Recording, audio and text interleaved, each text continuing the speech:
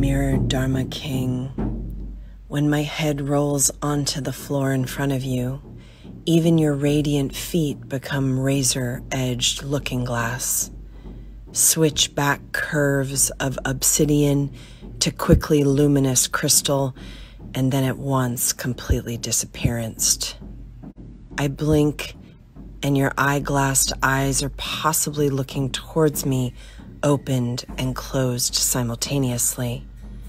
How do you do that, great unshakable master of Odiana, lake-born lord of Odiana?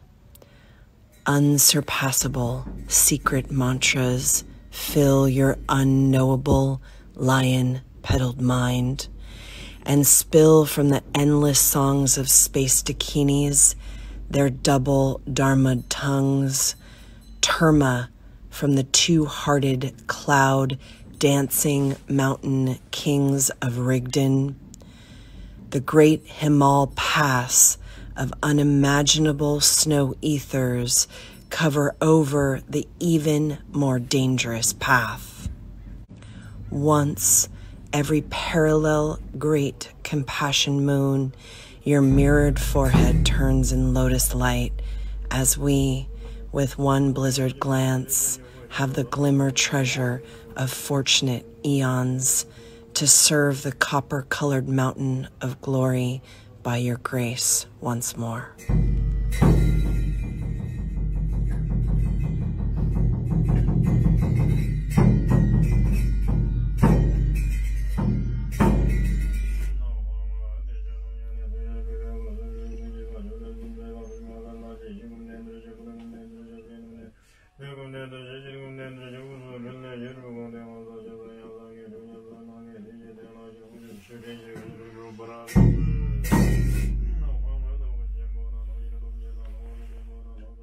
My teacher, Yogi Bhajan, gave to humanity, if we made all the mountains in the world into gold, we still wouldn't be able to measure the wealth of what he gave humanity.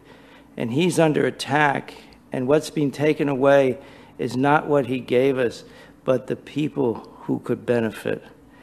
And I don't want you to be one of those people. The absolute brilliance and genius and benefit of these teachings have changed and can help so many. And I don't want you to get distracted by the winds of time and these kind of negative forces.